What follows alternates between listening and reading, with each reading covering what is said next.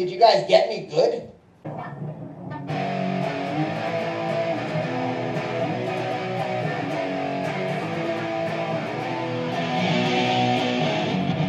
I don't want to live to understand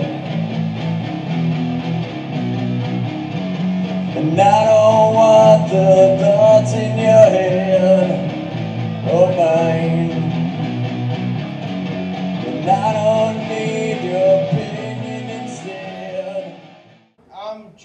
surprised as you are that I'm here tonight, too. Come on, Daniel. Get some material. I mean, look at the fuck. The man that we have a throne for. That chair is a perfect representation of how this night feels I, I would say if anyone is half gay, it would be Dan Caprio. Guys, Andy Bustamante's hat smells like Newport Lights and back child support. Well, yeah, let- let's get it started, man. We're here to talk about fucking uh, my man Carl, man. Y'all notice he looks like Jay and Silent Bob. I'm deaf in my left ear. I don't know what the fuck this guy says half the time. I don't know what the fuck anybody says half the time. Did you guys get me good?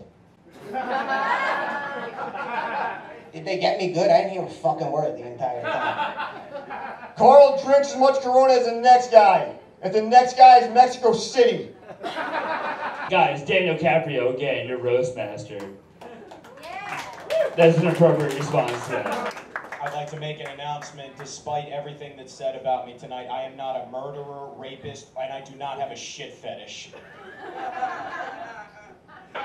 Kyle Groom! About having trouble growing a beard, which is ironic considering he has no trouble maintaining that beard of a fiance. Speaking of psychopaths, Liam Burdett, everybody. He still dresses like he's 14 years old. And that's because that's the same year his father left.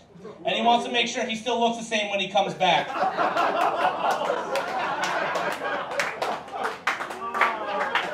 You can change. He's not coming back anytime soon. Jeff Smith Jr. on stage. Jeff, Jeff, I get just because you look like a depressed, sad, lonely, single father doesn't mean you have to dress like one, man. That's all I have to. Jeff Smith has the face only a child could love. Too bad he never gets to see his. You know?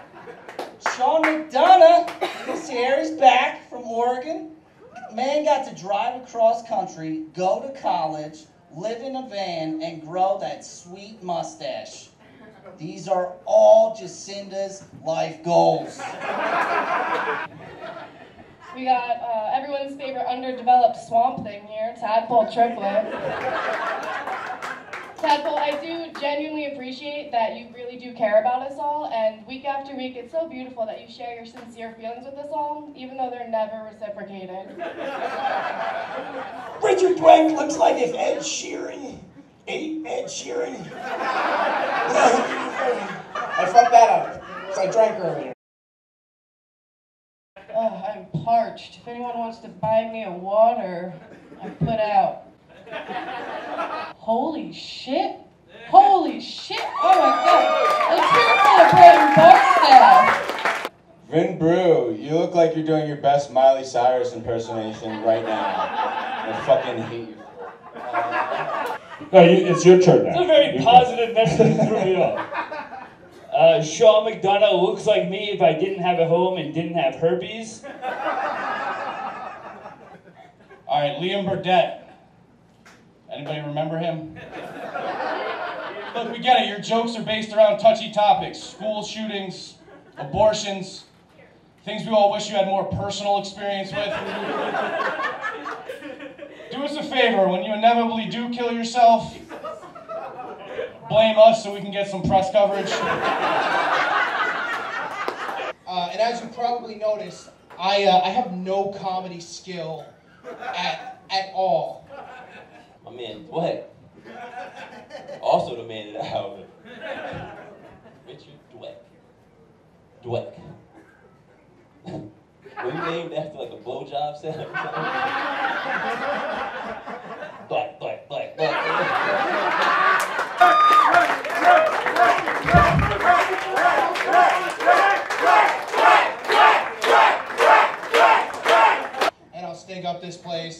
Will disappear once again.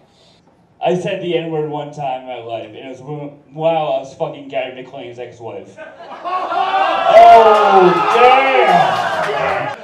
Oh man, Gary McLean. Gary, you're dressed like like G.I. Joe Budden. Matt Nesimeno is here. The only white man I know with Malcolm X glasses.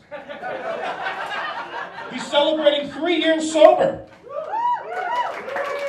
Matt, no one likes a quitter, and you're probably funnier drunk. Joke for Vin Brooks. I love that guy. Yeah! Bro, I used to work at a Wawa for a, a little while, and I would always use Vin Brew's vo- uh, voice every time that I would have to like calm a customer down. Take it over. This guy knows about rape. Guys, he has a point. He's not as drunk as I thought. All right. Yeah. Still got it. Still got it up here. And it worked every time. It's like, I don't know what to tell you. I'm so sorry. We, we, it's, the Hokey Fest ended yesterday. Um, today's Monday now. It's the, it's the start of the new week, and uh, I don't know what to tell you. What the fuck are you talking about? You're fucking crazy. I think we just need to stop making fun of each other. You know, there's a lot of animosity in this comedy world. I hear people saying horrible things about each other. You know, I hear people saying like Angelo looks like a little weird turtle man who lost his shell. And he's just overcompensating because he doesn't have his shell anymore. And I'm like, that's not right. Angelo Gingerelli is not the love child of Mitch McConnell and the Mona Lisa. Okay, that's not true. Are the dead rat guys here? Not supporting somebody else's show. Big surprise. Oh,